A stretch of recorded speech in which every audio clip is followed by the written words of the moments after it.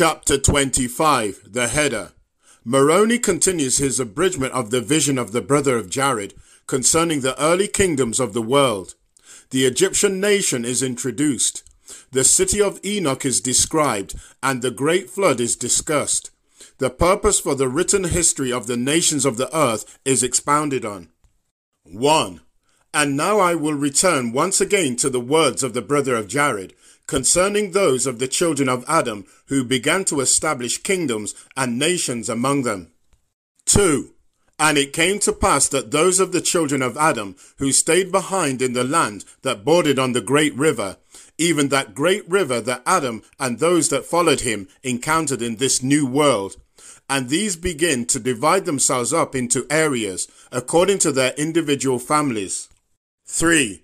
And these families sought out the most fertile parts of the land where they could plant their seeds and raise their food. And they began to cultivate the land that was fertile in such a way that they began to raise much more food than was necessary for their daily sustenance. 4. And they began to take the water from this great river and dig canals and ditches wherein it would flow into places that there had not been water before and in this way did they increase the harvest of their crops. 5. And this work was done by many families in cooperation with each other, having elected one to oversee the construction of their canals and their waterways and their dams. For the people felt that it was better that one man should have the authority over many in order to eliminate contention and disputations among them. 6. And in this way, these people began to form their governments and elect their leaders from among their own families. 7. And it came to pass that these leaders became wealthy, and they did not work by the sweat of their brow, but required a payment for their services. And because of their positions, which had been given unto them by the people, these leaders began to develop schemes and plans whereby they could control more of the daily activities of the people than the activities that they had been elected to perform. 8. And it was a benefit to the families that they had established among them to choose these men to whom they gave this power and authority from within their own families. 9 and in this way the children of men began again to allow Satan to exercise power over them. For according to the word of the Lord, a leader of the people should be the servant of all. And because they did not have the Holy Spirit to guide them, these peoples did not understand the principles and laws of heaven for the establishment of a righteous government. 10 and the only concern of the people was that they could feed their families and have shelter from the elements and have clothes to wear. And the majority of them spent their days providing for their own needs and also for the needs of those whom they had elected to have power over them. 11. Now, this was the thing that Satan desired, for he knew that if he could assure that the power and control over the people fell into the hands of a few men, then he could control the rest of the people by the power and the authority that these leaders had been given by the people. For this was an eternal law by which even Satan had to abide. Even the law that giveth all the children of God the right to choose the leaders whom they would follow, and also the laws by which they would live. 12. And if Satan could convince the people to accept their leaders as chosen men of God, then he would have an even greater control over their hearts and their minds. And this was the desire of Satan from the beginning, even that he should maintain control over the hearts and minds of all the children of God, so that he could force them to obey the laws of heaven, without giving them the choice to do so by their own choosing. 13.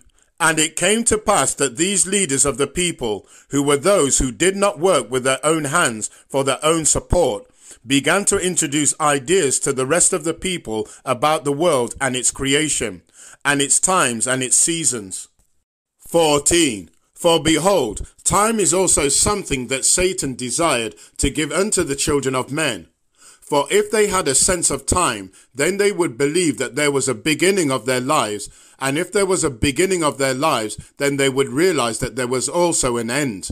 And thus making the concept of eating, drinking, and making merry all the days of your life consistent with the cognitions that Satan intended for them. 15. And these lazy men began to look to the stars and to the moon and to the other planets in the heavens for the signs and symbols that they thought were necessary to keep the people under their submission. 16. And this great river of which I have written became known as the Nile River. And it came to pass that the people near the mouth of this great river, even that part that emptied into the great sea, became known as the people of the lower Egypt and those in the southern part of the great river were known as the people of Upper Egypt. 17. And there arose a mighty man among the people of Upper Egypt, who became a king and a ruler among the people. And this man was not elected by the voice of all the people, but was given his power by the voice of the other leaders, who had for many years lived upon the spoils of those who tilled and watered the ground, and brought forth the fruit thereof. 18. And it came to pass that this great king united the peoples of the upper and lower Nile, and brought them under his rule. And he introduced unto them the idea that his family was of royal blood, and that only through the blood of his family could the ruling class be brought forth. 19. And this he had taken from the corrupt teachings that had been passed down among them regarding Adam and the pure blood of the bodies that the Father had given to Adam and Eve. 20. And now we can see how easy it is for a man to take a principle of righteousness and make it a principle that satisfieth his own selfish demands. 21. And because the people did not have the written word that Adam had caused to be written and carried forth among them, they did not have a correct interpretation of the truth. 22. And it came to pass that the numbers of these people grew exceedingly, and they were a delightsome and a fine looking people they having the remnants of the dark skin that had been passed down from those who had defiled themselves with the beings of a lower order that had crossed over into the land of Eden during the early days of Adam. But as their generations passed, and as these people mixed with the pure blood of Adam and Eve, they became an exceedingly beautiful people. 23. And it came to pass that the people were convinced that the doctrine of their king was correct, in that the ruling class consisted of special men and women who had been chosen by the gods to rule over them. 24. And among the people of Egypt, many forms of gods were created and taught unto them, and they worshipped these gods according to the abilities of each. In other words, according to what each of these gods contributed to their daily lives. 25. And the majority of the people were taught that these rulers were partly gods themselves, and that the gods had come down among them and established these few for the sake of the majority. 26. And because of their deception and manipulation of the people, these rulers became very rich and fared sumptuously off of the labors of the people who followed them and bowed down before them and they caused that great houses be built in their names, and they became the great pharaohs of the Egyptian nation. 27. And these pharaohs established a priesthood among them, and they called priests to administer in this priesthood, which priesthood served the ruling class and its needs and desires. 28. And the people were taught that the success of this life was based upon the material things of the world, and they were divided into classes of three. The first being the ruling class, which consisted of the pharaohs, who were the few, and the next class among them consisted of the priests and those who administrated the laws to the majority. 29. But the majority of the people were of the lower class, and this class of people did all the manual labor that was necessary to gain this worldliness for their pharaohs, who they worshipped as their gods. 30. And thus had Satan entered into their hearts, and with the treasures of the earth he began his reign of horror as he had promised. 31. And it came to pass that the Egyptians began to have some strife among the ruling class, and there began to be minor wars among them. 32. And there were other peoples upon the earth that were not of their land, and who did not believe as the Egyptians, but who were also under the great power and influence of Satan. 33.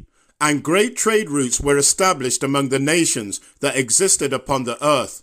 And when one nation would hear of the contentions within another, this first nation would come quickly to that nation ripe with contention and make war with its people, that they might take its gold and its precious things and enslave its people, so that they would not have to work with their own hands. 34. And this was the purpose of all the leaders of the great nations that existed on the earth at this time. And this will also be the purpose of all the leaders of the nations of future generations of the children of men that shall be established after this time. 35. Nevertheless, in the early days of the history of the children of men, the sons of Adam tried hard all the days of their lives to live according to the principles of the gospel that had been given unto them. 36. But even among their own people, the lure of worldliness and the fine things of the world was too great, and their children began to succumb to the enticings of Satan. 37. And at this time, Enoch had established a city in the land of Canaan, in which lived the many generations of his children. 38. And they became an exceedingly righteous people, and they did not divide themselves into family units, nor did they have gold or silver or any fine things of the world among them. And they ate the fruit of the vine and of the ground, even those things that perpetuated themselves forever for their nourishment. And they ate no flesh, neither did they cook their food. 39. And they obeyed the commandments of God in all things. And the men of the city of Enoch were exceedingly righteous, each of them having only one wife, and concubines they had none, for there was no lasciviousness among them. 40. And their women were the most beautiful women upon the face of the earth. For Enoch and his posterity had maintained the pure blood that had been passed down to them from their father Seth, who was created in the exact likeness of his parents Adam and Eve. 41. And they had all things in common among them, and they had a church established among them after the holy order of the Son of God. And the leaders of this church worked by the sweat of their own brow and took nothing from the people. 42. And there was no government set up among them, for all of their children were taught the commandments of God from the day of their birth. And because there was no desire among them to acquire or seek out material things, there was no need for laws to be established to govern the things of the world. 43. And the only laws among them were the laws and the commandments contained in the law of the gospel that had been given unto them by the mouth of Adam. 44. And there were no taxes, for there was no need for them, as all people shared in the responsibility of the needs of the city, and all gave according to their abilities, and received according to their needs. 45. And there did not exist, nor hath there ever existed, a people like unto them on the face of the earth. 46. And it came to pass that the other sons of Adam, who had corrupted themselves with the things of the world, began to desire the daughters of the city of Enoch because of their beauty and their grace. And they also desired to bring the men of the city of Enoch under subjection and make them pay taxes to the governors of their own cities and nations. 47. But these people had kept all of the commandments of God, and therefore the Father was bound by the covenant that he had made with them. And because they had kept all of his commandments, yea, even every one of them, the Lord was bound by his word. 48. And it came to pass that the Lord sent Enoch out among the people that were not part of his city to preach repentance unto them in an attempt to turn their hearts back to God, so that they would not come into the city of Enoch and destroy it. 49. And the Lord did this that he might warn the other people of the earth of his indignation, if it so be that they would harm the people of the city of Enoch. 50. But even so, it came to pass that the wicked men came up into the borders of the city of Enoch. 51. And the faith of Enoch was exceedingly great. And when the enemies of his people came upon them, Enoch spoke the word of the Lord, and the earth trembled, and the mountains fled, even according to his command. And the rivers of water were turned out of their course by the cause of the great earthquakes that were commanded by the word of Enoch. 52. And these great floods consumed the enemies of the city of Enoch, and the other peoples of the nations that were established in the other parts of the land felt the rumbling of the earth, and heard the great noise of violence that was taking place in that part of the world. And they were all afraid, and dared not to come up against Enoch and the people of his city. And the fear of the Lord was upon all nations of the earth. 53. And it came to pass that the Lord spake unto Enoch, and showed unto him many of the things that had been shown unto the brother of Jared, and this because of his exceeding faith and righteousness before the Lord. 54. And it came to pass that according to the words of the brother of Jared, he saw that in the spirit world Jehovah was well aware of the city of Enoch and its righteousness. And Jehovah went unto the Father and described to him the things that were happening upon the earth. And he presented unto the Father the righteousness of Enoch and his people. 55.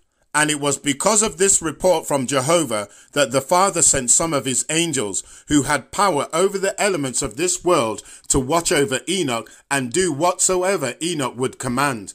And these angels who were servants of God and were also exalted beings like unto the Father came down upon the earth in disguise. Yea, they made themselves appear as mortal men, even those who were the most despised among men, that they might not be recognized and discovered. 56. And these watched over the people of Enoch. And when Enoch made a command in the name of the Lord, these angels of God did that thing to the earth which he had commanded. 57. For behold, no mortal man hath the body or the ability to exercise control over the elements of the earth.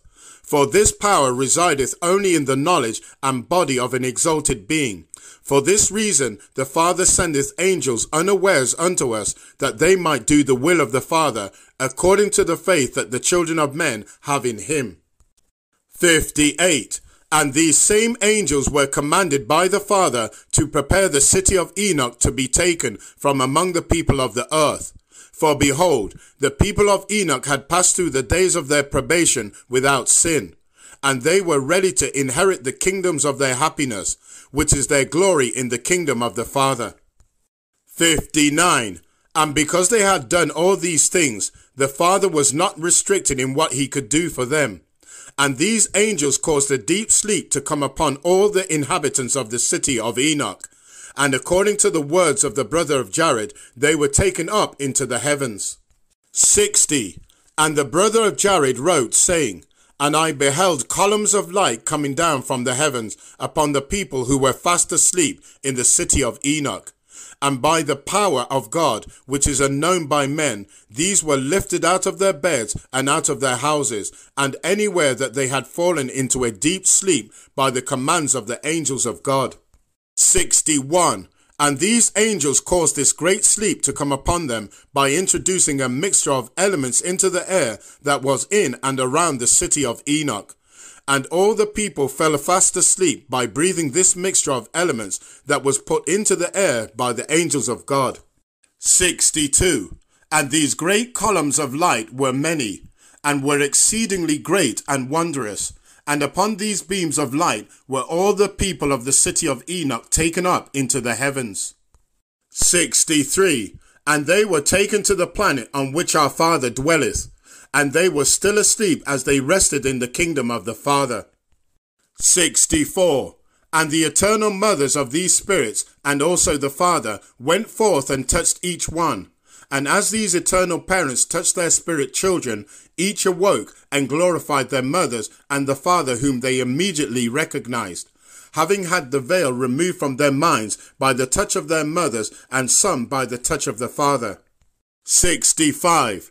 And the people of Enoch were accepted by the people who lived on the planet with the Father, and they could now understand all things that they had been taught as spirits by the Father, and also by their experiences during the days of their probation. 66. And many of their mortal relatives who had died were still in the spirit world upon the earth, waiting for the day of their resurrection. But the people of Enoch resided with the Father.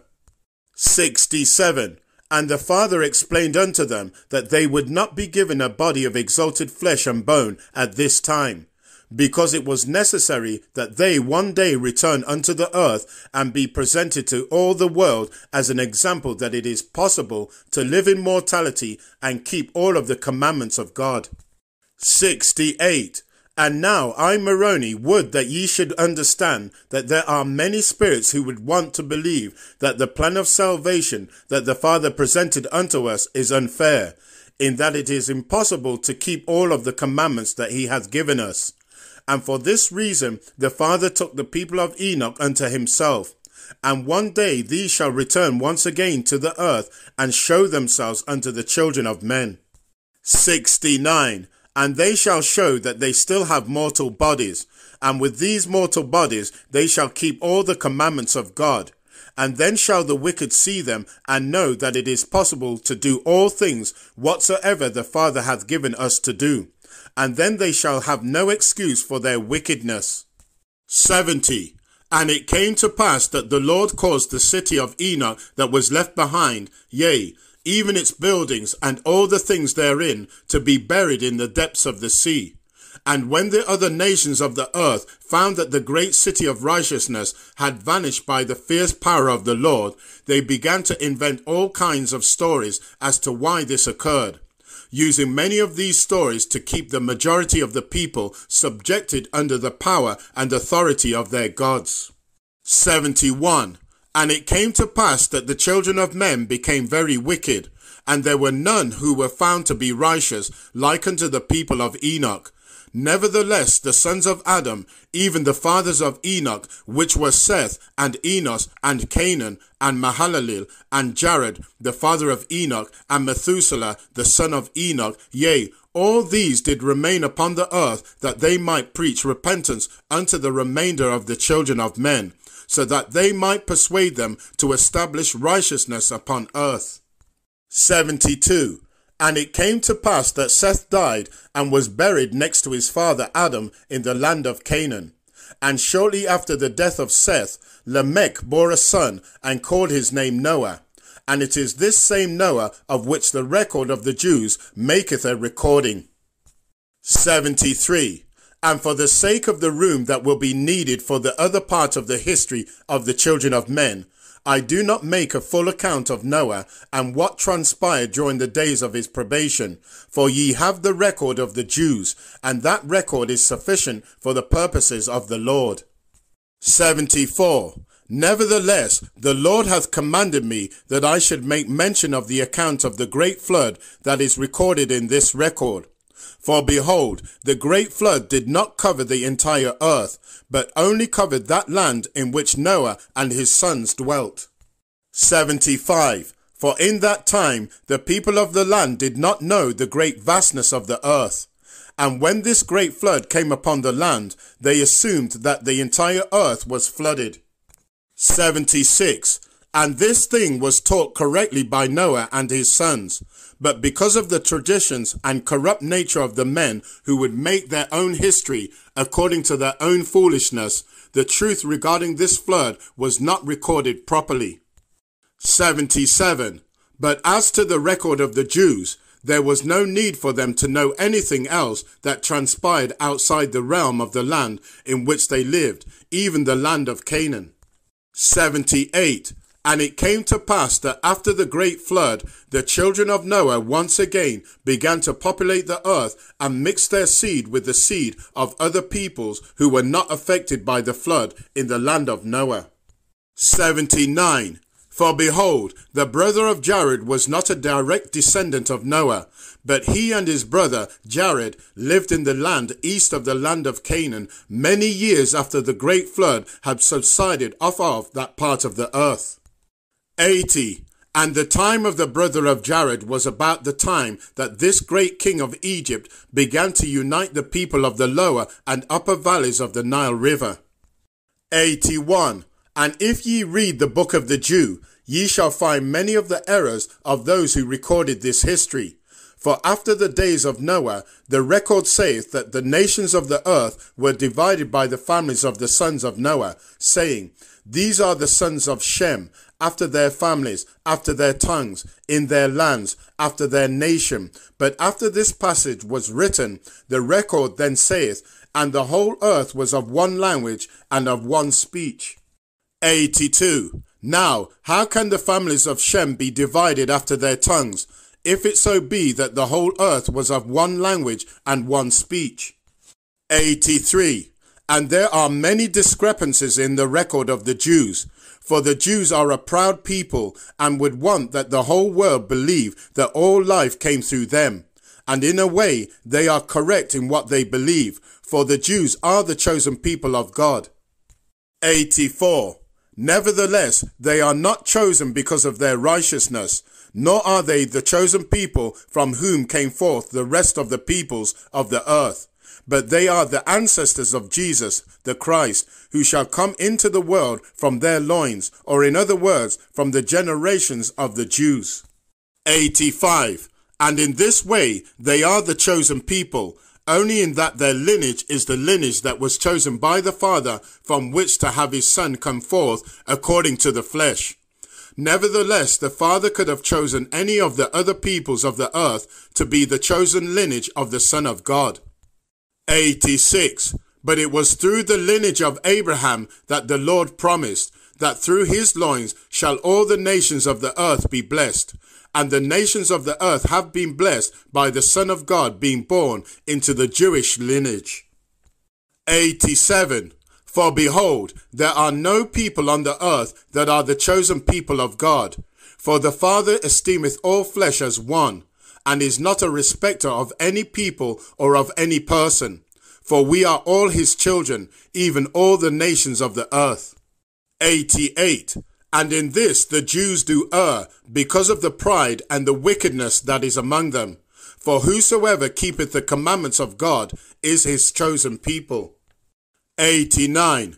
And the Jews do not keep the commandments of God, for they esteem themselves above the rest of the children of God, and therefore cannot be his chosen people. But from their lineage the earth was blessed by the birth of Christ. And the Jews have rejected Christ. Therefore, how can they think that they are his chosen people, if it so be that they have rejected him and keep not his commandments? 90. And in their pride, the Jews shall be condemned and allowed to be persecuted by the rest of the nations of the earth, because of this exceeding pride, believing that they are a chosen people above all others. 91. And it came to pass that the sons of Noah travelled to the east to the land of Shinar, and dwelt there. For the sons of Noah had dwelt in the land west of the land of Shinar. 92. And because the king of Egypt had made his proclamation of uniting the kingdoms of Egypt, it was voiced throughout the other nations of the earth that he might gain power over the whole earth. 93. And there were great warriors that had developed in the eastern part of the land, which came forth to go up into that part of the land in which it had been voiced that the Egyptians were uniting themselves. And these warriors joined with the people who had fled the land of Canaan after the great flood. 94. For most of the people in the land of Canaan were destroyed by the flood according to the record of the Jews. And the posterity of Noah was afraid that the floods would come again upon that part of the earth. So they fled eastward towards the valleys that surrounded the other great rivers in the land that would be called Mesopotamia, or in other words, the land between the rivers.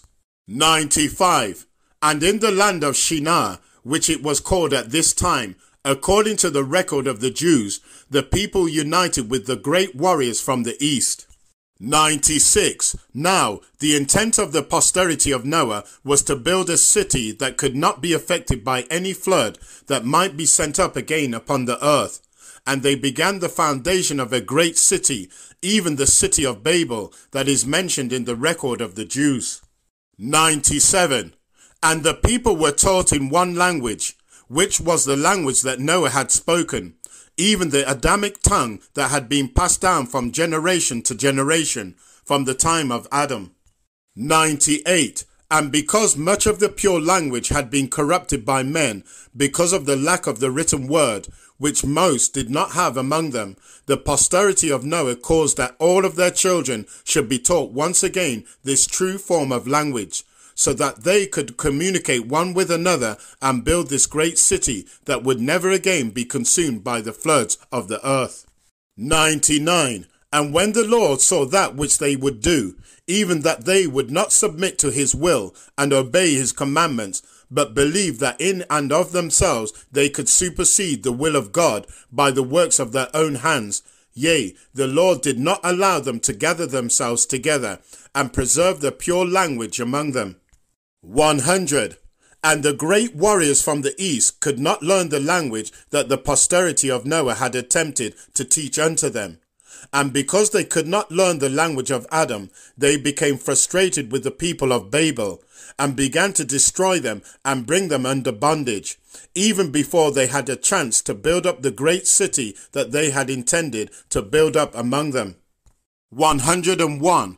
And they took many of the people of Babel as slaves and servants for themselves, and caused these slaves and these servants to be taught in their own language, which was a corrupted form of the pure language which the ancestors of these warriors had spoken. 102. For when the sons of Adam had come into this land during the days of Adam, then did the whole earth speak the same language.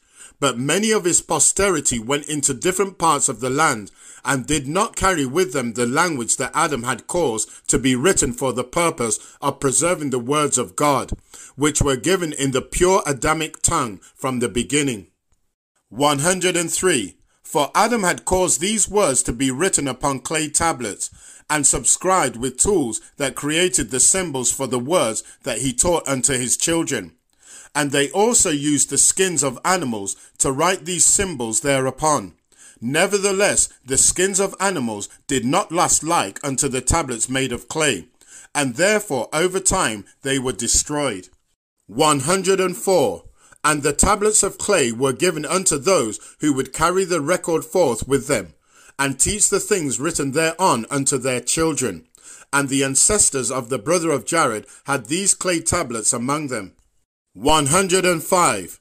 And their ancestors had spread forth upon the land, and were not affected by the floods that destroyed the people in the land of Canaan. But the incident of the great flood was taught unto them by their fathers, for their fathers were familiar with Noah, he being a great one among them who had preserved the pure blood of Adam through his seed. 106. And the ancestors of the brother of Jared had also preserved the pure blood of Adam among them. And at the time of the brother of Jared, he and his brother Jared and their friends and their families were the only ones upon the face of the whole earth who still had the pure blood of Adam, which was undefiled, for the posterity of Noah had mixed their blood with the other peoples of the earth after the great flood. 107. And the brother of Jared came up into the land of Shinar to help build the city.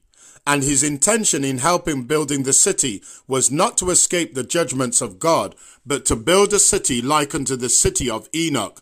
But when he could see that the others who had come over from the land of Canaan even the posterity of Noah did not have the same intention as he had.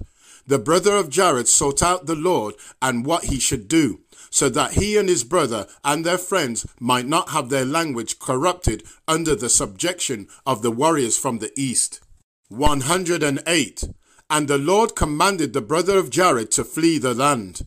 And because of his righteousness, and also to preserve the pure blood of Adam upon the earth, the Lord led the brother of Jared to the land of Eden, which was the land of promise that the Lord had covenanted to give to them that serve him and keep his commandments.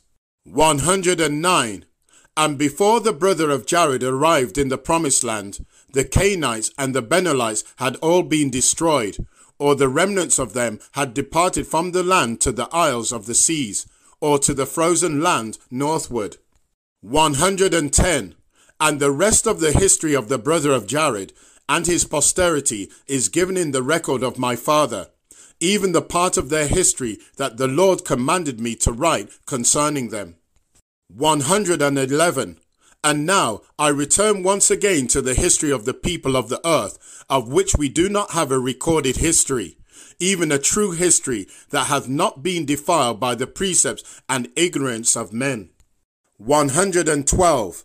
And the record which ye have of the Jews, even the Bible as ye call it, is not a perfect record, Nevertheless, it giveth a more accurate account of the nations that arose from the descendants of Noah than doth any other record that was caused to be written at that time by the children of men.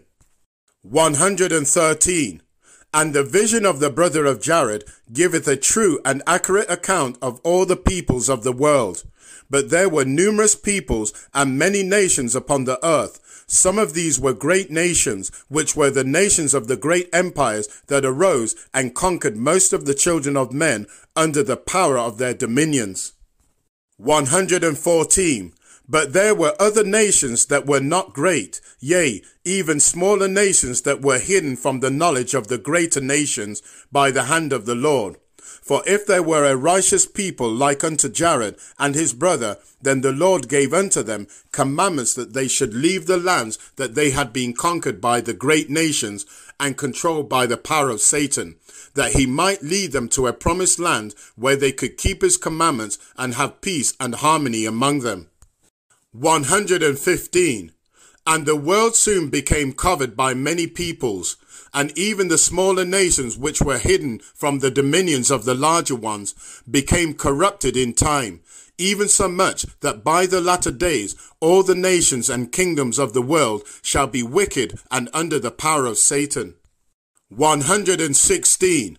And the purpose of this record is to present unto you, even unto all those who are the elect, who shall receive these things in righteousness, the history of many of these great nations, and also many of these smaller nations that were led from among the great ones.